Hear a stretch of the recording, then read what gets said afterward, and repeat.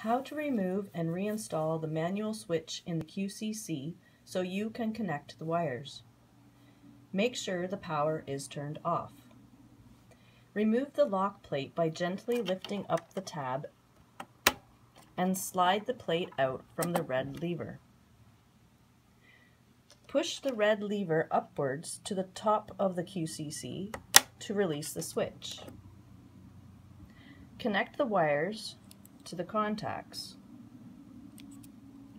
Slide the switch back onto the operation unit with the arrow matched to the 3.